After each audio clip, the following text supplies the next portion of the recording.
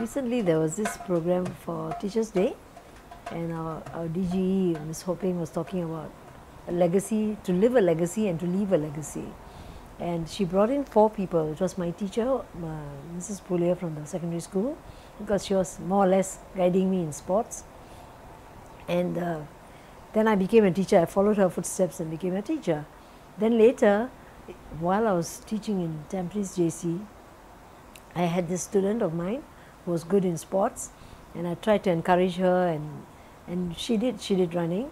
But later when she went out, she went even further, she went on to do triathlon, that means two other sports and she took part in major games. Then after that in her, as she, and she also became a teacher, she said she used to, she was very um, taken up by the way I was able to teach and, and take part in sports at a high level at the same time at the same time and therefore she also wanted to do, to do that which she succeeded and she went into teaching and in her turn she also brought up an athlete who became a SEA Games medalist for cycling.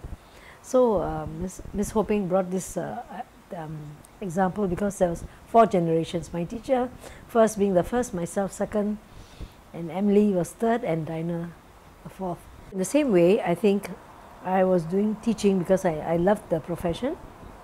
I really put my heart and, heart and soul into, into teaching itself and uh, I was able to experience all levels primary school teaching, secondary school teaching and the JC.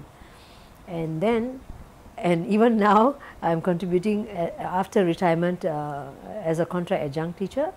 I'm teaching, see, so there's uh, Uh, it's flowing from one to another to another. And therefore, just like how Ms. Ho Peng said, it's a generation, one generation passing on to another. So in this way, you also keep in touch with more people and keep active yourself and therefore contribute in a different way towards to, to the betterment of Singapore, to the teaching profession as such.